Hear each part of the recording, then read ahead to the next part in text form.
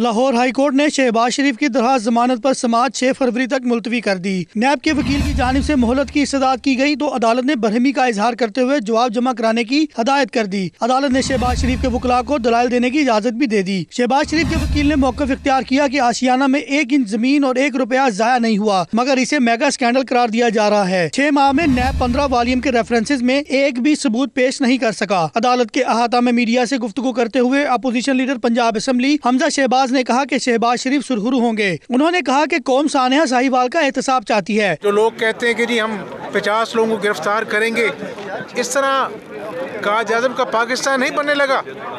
और इन मुझे उम्मीद है कि अल्लाह के फजल करम से मोहम्मद शहबाज शरीफ साहब जो हैं इस केस में सुरखरू होंगे। केस की समात के मौके पर मुस्लिम लीग नून के रहनुमा राना तनवीर भी अदालत पहुँचे। कैमरामैन दानिश अली के साथ शकील सईद 92 न्यूज़ लाहौर।